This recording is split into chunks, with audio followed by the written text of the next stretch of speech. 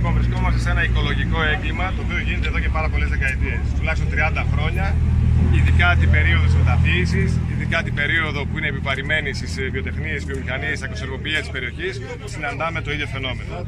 Ειδικά στο πολυπλάτανο, αυτό το φαινόμενο είναι το μυρίζεις, το αισθάνεσαι, το ζεις. Οι κάτοικοι εδώ της περιοχής, ειδικά το βράδυ και τις πρωινές ώρες, δεν μπορούν να πνεύσουν κοιμούνται με κλειστά παράθυρα, τα μικρά παιδιά έχουν πρόβλημα ακόμη και στην απνοή και αυτό επαναλαμβάνεται κάθε χρόνο. Το ότι επαναλαμβάνεται κάθε χρόνο και δεν υπάρχει λύση σημαίνει κάτι. Πρώτον, είτε ότι πρέπει να σπάσουμε αυγά, που σημαίνει ότι αυτοί οι οποίοι ρηπαίνουν θα πρέπει να πληρώσουν και ο ρηπαίνων πληρώνει.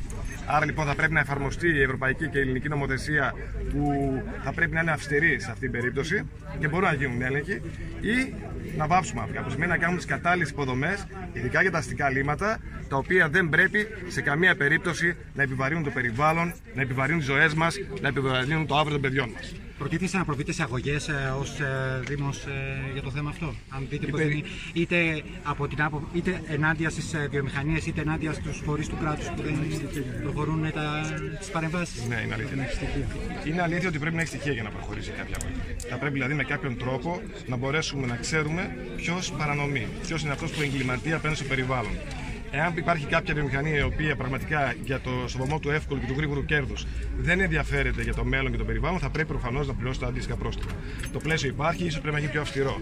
Αν όμως οι έλεγχοι αποδεικνύουν με τις μετρήσεις ότι δεν υπάρχει πρόβλημα, θα πρέπει να ξαναδούμε τους ελέγχους. Θα πρέπει να ξαναδούμε το πλαίσιο με το οποίο γίνονται οι έλεγχοι. Θα πρέπει να ξαναδούμε αν μπορούμε να κάνουμε ελέγχους οι οποίοι δεν είναι αναμενόμενοι, οι οποίοι είναι και βραδινές ώρες και πρωινές ώρες και χωρίς να, να περιμένει κάποιος ότι θα γίνουν. Θα πρέπει να δούμε πώς θα πρέπει να πιάσουμε αυτούς οι οποίοι ρηπαίνουν. Ειδικά τώρα για αστικά λίμματα, μια που εγώ αναλαμβάνω δήμαρχο, είναι ένα ζήτημα το οποίο υπάρχει σε όλες τις πόλεις. Έχει να κάνει με τις υποδομές των πόλεων, έχει να κάνει με τους ε, βιολογικούς. Είναι ένα ζήτημα το οποίο πραγματικά πρέπει να δουν και οι Νάου αλλά και οι υπόλοιπες πόλεις της Ελλάδα είτε μας αρέσει είτε δεν μας αρέσει, ζούμε σε μια μετάβαση. Έχουμε περάσει από τα μνημόνια, πάμε σε μια κανονικότητα. Θα πρέπει κάποια, κάποια στιγμή να φερθούμε ευρωπαϊκά. Πρέπει να αντιληφθεί ο καθένας ξεχωριστά, αλλά και ο Δήμος και οι επιχειρήσεις και η περιφέρεια και τα υπουργεία ότι αυτό το πράγμα δεν μπορεί να συνεχιστεί και το περιβάλλον είναι το αύριο τη χώρας μας. Αυτή είναι η πραγματική Ελλάδα. Ο Πολυπλάτανο είναι σήμερα εδώ, η Νάουσα είναι σήμερα εδώ. Όλοι οι άνθρωποι από τις ε, δομές είναι εδώ και οι βουλευτές και ο Δήμος και η περιφέρεια. Πρέπει με κάποιο τρόπο να σταματήσουν να ρίχνουμε το ένα στην ευθύνη στον άλλο. Ο κόσμος έχει κουραστεί να ακούει ποιος τελικά φταίει και να έχουμε τελικά αυτό τον, ε, αυτό τον αντίλογο, αλλά πρέπει να καθίσουμε μαζί πριν πάμε σε κατασταλτικά θέματα, να δούμε πώς θα μπορέσουμε να λύσουμε το πρόβλημα.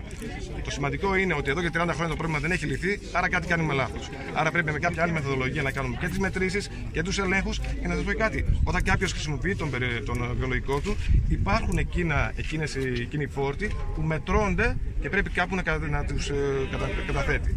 Άρα λοιπόν θα πρέπει να γίνουν πιο αυστηροί έλεγχοι, ίσως και με ένα καινούριο πλαίσιο πιο αυστηρό.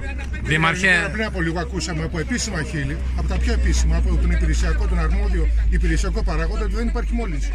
Εντάξει, υπάρχουν. υπάρχουν... Εγώ τουλάχιστον αυτό άκουσα. Ότι είναι κάτω από τα όρια. Ναι, το άκουσα και εγώ. Πολύ ωραία.